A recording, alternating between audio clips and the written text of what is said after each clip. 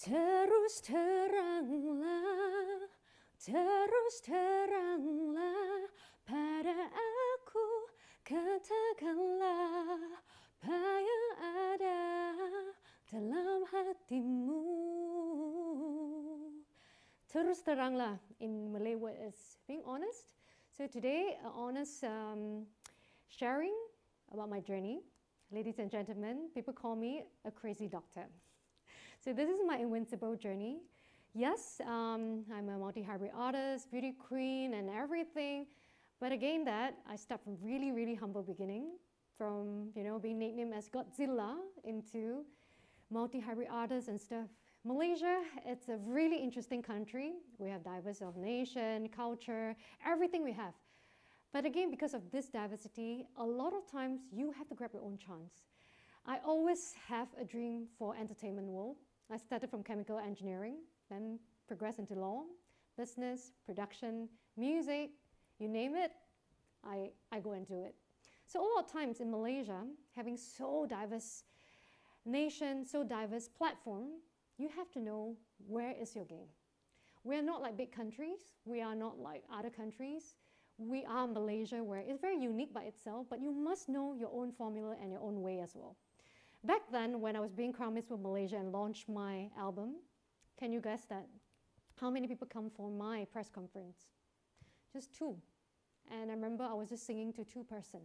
It was indeed a failure. But again, a failure better than not trying.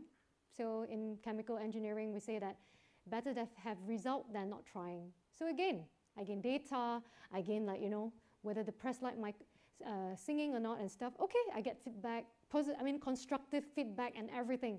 But again, never give up on your dream. In Malaysia, uh, a lot of people go into the science stream, a lot of other different stream. Back then, entertainment line in Malaysia is still quite backwards. So a lot of times you need extra efforts rather than waiting for chances. So I volunteer into acting, I volunteer into cooking, I volunteer into every single thing. I just want to try and see what can I create. So never ever I imagine that cooking, master chef, brought me into the hearts of Malaysia. I tried so many things, Miss World, PhD and everything, but cooking. So sometimes in the art world, why cooking, I ask myself? Because it transcends through different languages, through different medium. Sometimes you have to rethink, re-strategize, structure. So when there's visibility, I started going to film, music again, it worked because you need audience. So lots of time. Back then, when I was being nicknamed Godzilla, I keep complaining that why like that. Don't give in your fate. If you're born like that, change it. Grab it. Create it. Again, we in the entertainment line, you must know where are the audience. In Malaysian terms, we say that you cannot syok sendiri meaning that you can't be arrogant. No matter how beautiful you are, how talented you are, but if there's no audience, we fail. In the popular music world, in the popular mass world, you are being judged in the rating system. So again, you must know the transition of the media as well. So back then, radio was created to transform all the listeners, all the user to listeners. Then TV came out, all listener become watcher, audiovisual. This century, social media. Everyone is a social media creator. Each of us can be famous in our own territory. The term celebrity, the terms famous have been changed due to the change of media. So again, I'm from the music industry. Back then, you have to plead recording labels to sign you. But again, 2000, social media changed everything you must chase your own game. It doesn't mean that under record label is good or bad. Depends on what model, on what mode you want. So back then, nobody, no person knows how to manage this beauty queen, you know, singer. So you have to be an entrepreneur. But again, being entrepreneur is not coming up popping like mushroom. You must try, error, serve people, get the right education. Of course, I was stuck in the entertainment line. That's why I went for my PhD study. A lot of people ask me, did I do full-time and stuff? No, I did part-time. For me as well, I know paper is important, but not just the marks. So what I did was, I was doing everything. I was working full time, doing my PhD part time. Then I was traveling back forward Taiwan and stuff, doing my international album. Because I was stuck just by referring to journals or textbook. I wanted something different. My teacher challenged me why I took six years. He said I wouldn't see if you take three years, it's just going to be theoretical. Why not challenge yourself? You are in the entertainment line. There's something for you to discover. I took her advice. I went the longer route. I went and get new data. I went and test. That's why I transformed my whole research into exploratory. I want to explore. I don't want to just buy the book by the theory. Back then in 2016, I was the first who write about social media strategy in, back in Malaysia. All my professors laughed at me. He said that mm, it wouldn't, it's nothing. Why not you do TV, radio? I said, no, I saw it in Taiwan, how, the, how Jay Chou or other artists make it through social media and new media digital. So I was like, I protected my idea. I went for it, and I graduate. You know, PhD is, everyone calls it permanent head damage, but again, it is for you to protect your own theory. You are creating something. It's no longer like a master or a degree student. So after my PhD, everyone thought that I would stay back Malaysia, you know, everything. Again, I took another big challenge in my life. I applied to my dream school, Berklee, which is every musician game, uh, dream school. So being in there, I thought, yay, I made it and stuff, Hollywood first music school. But again, when you went in, I saw the vast talent inside. First day in school, when everyone stand up and introduce themselves, they're no longer just talking about how good they are in the instrument. How many instruments can they play? How many competition have they won? How many degree master have they have? So, you know, a lot of Asian we were like shocked because overseas they are more advanced in arts. But again, I was a bit proud as well, so I won the fellowship. But again, as well, it was a hurdle for me of letting go whatever I built in Malaysia and challenge myself in overseas. In overseas, everyone don't know you. You had to start from zero, and I was stuck with one euro. Either come back or just break it there. I decided to take the challenge, started down again as a crew, and then studying 16 hours per day to win the fellowship. Each of us never sleep for eight months. Then when they announced top 15, um, I was the only one, I mean, two, one out of the two Asian who won the fellowship.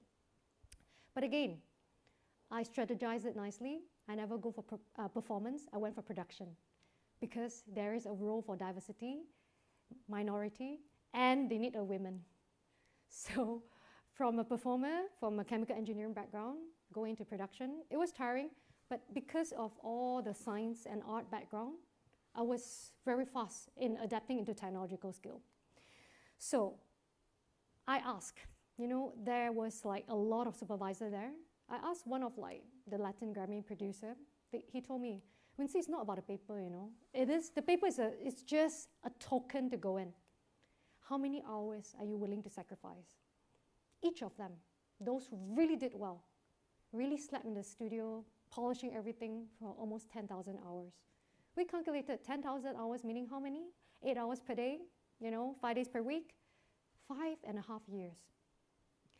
So a lot of times we ask ourselves, are we ready? No. Have you keyed in the right hours? No. So don't give you excuse. Just key in the 10,000 hours rule. You're going to reach somewhere. This is how I built my profile from, yes, my chemical engineering background into a lot of vast background. The basic was, for me, my foundation was science but I love arts too much. So that mentality, adding with art background, it makes me very unique. Step by step, step by step, I use this to conquer a lot of territories and also me, myself as a company. I don't need to hire other people. So it's very cost lenient. You know, a lot of times when you let go of your ego, when you dare to come down and see possibilities, you got to see a lot of new things. Of course, you must know business. If you can't sell, mm, you can't survive, you still need bread and butter. So a lot of times, no matter what you study, add on some business skills. You know, why hire people? Why not you do it yourself? Nobody's going to know your baby more than you yourself. No matter how many experience they have, how much vast stuff they have. You know, I always say that, go and learn it yourself. You don't need to always employ people. People are not going to stay with you forever. Now as well, you have to know the professional languages, but you must have the best packages. From science background, I know that I must be professional, but from the business side, I must give the best price, best package, best unique selling point. A lot of all these things I learned beyond science stream.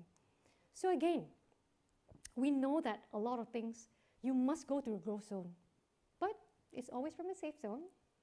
Adding on the second phase, every one of us, I guarantee you that every time I conquer one mountain to one mountain, I will go to the fear zone.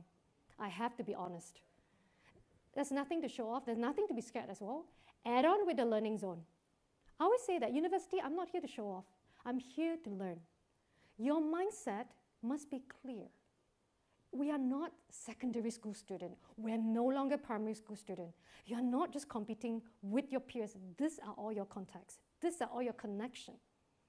So a lot of times I was like, why are we competing on the paper? You know, we should build alliances. You know, my best contact is always from university or my pre-university. You get to see the extra talent before you're stepping out to the real world. The real world, everyone is wearing a mask. You can't see them. So a lot of times, get into a lot of challenges, add on with learning, you are going to grow beyond your imagination. During COVID as well, I was stuck for two years in Spain. A lot of things challenged me. A lot of things I went into interview and stuff. I let go everything. I just want to keep trying. Never ever imagined that I would gotten associate professor role in UITM. And again, that Argo appointed me as, you know, the producer for next year hall, which are, they are launching. Being an associate professor as well, I saw various, various data, real data, and various different problems as well. We're solving stuff every day. So it's no longer by the book. You can't even find from a research paper. You're doing research almost every day. You think PhD is, is hard? I guess being a professor is even harder. You are solving so many other PhD projects. So one by one, when you put in all the pieces and everything direct you towards it, don't go against the flow. Go with the flow. I was asking, why am I, what, why life is challenging me so hard? Is to prep you to become someone to manage a bigger project. If you play safe, you're going to be eliminated. Of course, you must have your own strategy. We are all educated people nowadays. Information, everything online. There's so many things compared to 10 or 20 years ago. It's just that, are you sure that you're on the right place? Are you sure that you're being eliminated or reburied? So always ask yourself, is this what you want? But even you're not in the position what you are, you like it, add on with something new. Back then, nobody protected my dreams. That's why a lot of starter, a lot of entrepreneur, a lot of creator, we will suffer first. But the next generation, I hope that all these things will encourage everyone to go beyond your comfort zone, create better than us. Then only our duty are fulfilled. A lot of times, education is not the control. It's to educate and also to lead the younger generation into a higher, a better background and better for our country as well. Bit by bit, this is my journey. I hope that, you know, be more crazy than me. So you can be better than this Godzilla, better than this Miss World Malaysia. Don't just stuck on the surface. True diamonds are beneath and the fake glamour are on the surface. Think deep, keep working hard, you will get there. Thank you so much.